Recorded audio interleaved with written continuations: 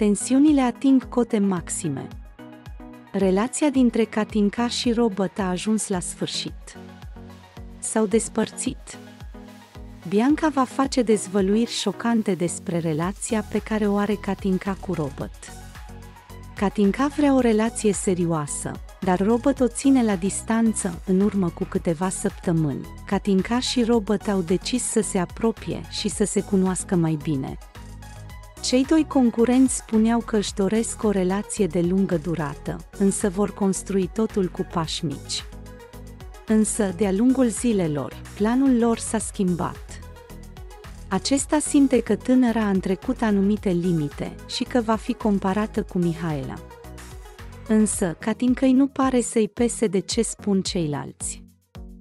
Este viața ei și și-o trăiește exact cum vrea în ultimele zile. Catincai a cerut lui Robert mai multă atenție, lucru care l-a scot din minți pe concurent.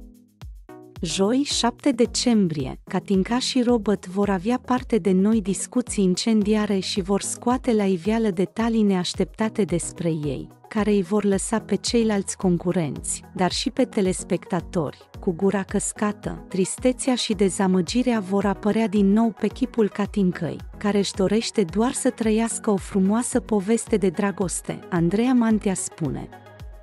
Bianca, tu ai fost prima care a vorbit cu ea, imediat după ce a plecat Robert. Ce ți-a spus? Ce concluzie a tras? Ce a înțeles? Bianca spune că s-au despărțit, Andreea spune. Mantea Robert, de ce țipa la tine? Robert spune. Ăsta este caracterul ei. Începe să țipe când se supără telespectatorii au parte de ediții din ce în ce mai picante. Cum se vor termina conflictele dintre concurenți, dar și ce acuzații vor mai face. Însă în gala din 10 decembrie se pare că vor exista eliminări surpriză. Adelin este eliminat, el nu mai are nicio lansă. În acest show, Deoarece nu a funcționat cunoașterea cu Mihaela, el va fi eliminat, pentru că nu se vede scopul lui acolo. În mediul online se vehiculează că Radu este prea cu nasul pe sus față de colegii săi și ar trebui tras de perciuni. Pot schimba banii un om, Radu face declarații bombă și a spus că așteaptă tot mai mult următorul sezon Casa Iubirii. Ba mai mult decât atât acesta ar atenta la scaunul prezentatoarei Andreea Mantea. Radu taie și face praf oricine îi stă în cale. Se pare că are curaj, voi ce spuneți? Este Radu un om răutăcios sau doar încearcă să fie el? De altfel toți fac la fel. Nu știu cum să rămână acolo. Ar fi cazul ca Radu și fiecare concurent să nu se întindă mai mult decât îl ține coarda și să fie mulțumitor de toate oportunitățile oferite. Lasă un like și abonează-te pentru a fi la curent cu tot ceea ce se întâmplă în Casa Iubirii. Deja s-a decis, Casa Iubirii se va termina abia în luna ianuarie 2024, însă până acolo, show-ul ne pregătește surprize încâtătoare și vor apărea concurenți care au fost eliminați. Deja mai mulți dintre cei care au fost eliminați au cerut producției, dar s-au și înscris să revină. Se pare că Patrick i-a revoltat pe unii dintre cei vechi și asta a produs înscrierea celor vechi. Avem și cazul Larisei. Ea a ieșit în umbră cu 5 săptămâni, după ce l-a refufsat pe Antoni, însă. Iată că a revenit din nou și spune că îl vrea și ar trebui să încerce o relație. Staful casei iubirii este bubuit cu mesaje de către cei vechi.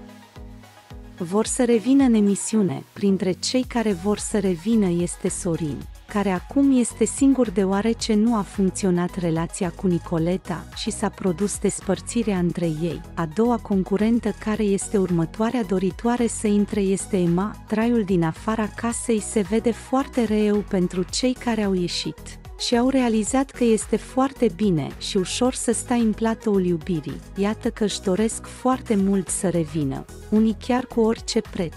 Unul dintre motivele revenirii lor este că Tot ceea ce primesc este pe gratis.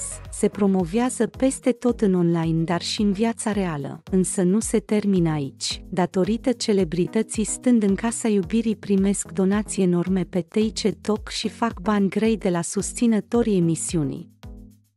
Chiar și prezentatoarea Andreea Mantea primește cadouri de sute de euro de la o susținătoare, dar și susținătorii înfocați concurenților. Concurentul Radu se pare că este unul dintre cei mai bogați concurenți ai casei iubirii. El nu doar că primește cecuri, el primește donații de mii de euro pe lună, alteori chiar și la zi, sume de sute de euro, însă se pare că, dacă cei care îi susțin cu donații, dacă nu îi mai susțin se pornește o revoltă cu scandal, și iată că din nou primesc cadouri. Ori și cum, noua muncă a tot mai multor tineri este în online din donații. Se pare că unii dintre ei au uitat ce mai este munc și fac mii de euro lunar fără să ridice niciun deget. Nu uitați să vă lăsați părerile la comentarii. Avem concurenți care citesc comentariile voastre și se bucură văzând susținere, chiar și cei care vor să revină. Va exista o descalificare, venim cu informații în avans. Gale incendiară în data de 24 decembrie. Andreea Mante a făcut anunțul. Astăzi un concurent este descalificat.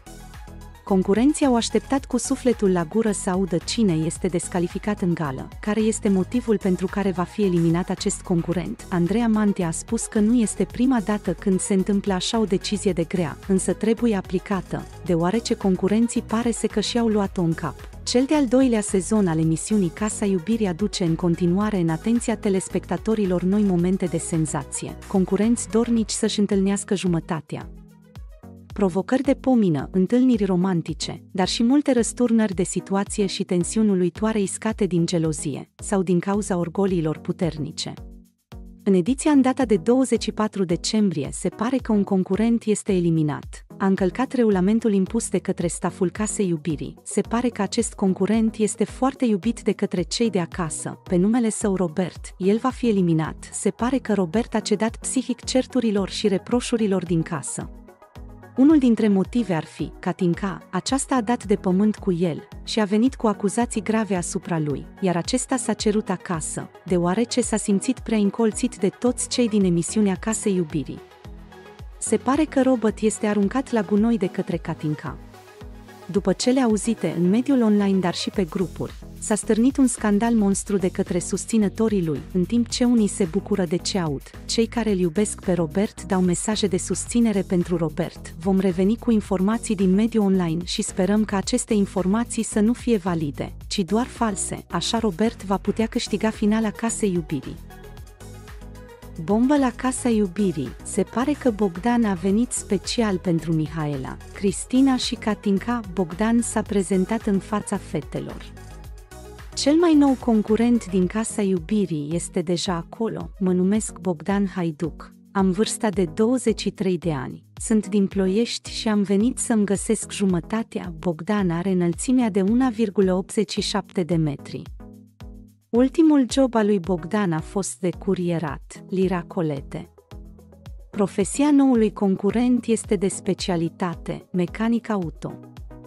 Concurentul se pare că a avut un val de întrebări și mult interes din partea fetelor. Se pare că noul concurent nu a fost în o relație serioasă de mai bine de un an și jumătate însă acesta este gata să-și găsească o relație stabilă cu adevărat, ultima relație pe care a avut-o nu a funcționat din prea multe certuri și neînțelegeri între ei, dar și familiile lor. Bogdan este un băiat simplu, cu capul pe umeri și loial, dar și dedicat în o relație. Se pare că Bogdan a venit special pentru Mihaela, Cristina și Katinka.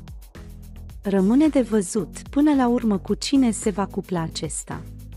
Însă în gala din 10 decembrie se pare că vor exista eliminări surpriză. Adelin este eliminat, el nu mai are nicio lansă. În acest show, deoarece nu a funcționat cunoașterea cu Mihaela, el va fi eliminat, pentru că nu se vede scopul lui acolo. În mediul online se vehiculează că Radu este prea cu nasul pe sus față de colegii săi și ar trebui tras de perciuni. Pot schimba banii un om, Radu face declarații bombă și a spus că așteaptă tot mai mult următorul sezon Casa Iubirii. Ba mai mult decât atât acesta ar atenta la scaunul prezentatoarei Andreea Mantea. Radu taie și face praf oricine îi stă în cale. Se pare că are curaj, voi ce spuneți? Este Radu un om răutăcios sau doar încearcă să fie el? De altfel toți fac la fel. Nu știu cum să rămână acolo.